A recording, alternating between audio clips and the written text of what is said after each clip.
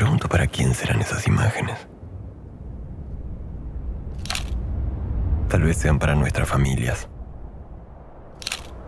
Volveremos a vivir en su imaginación. ¿Qué nos pasó?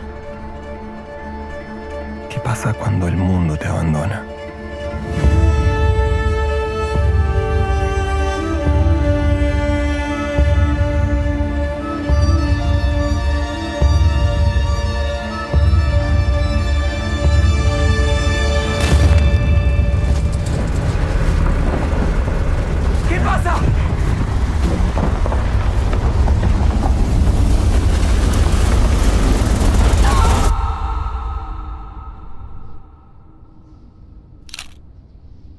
¿Quiénes fuimos a la montaña?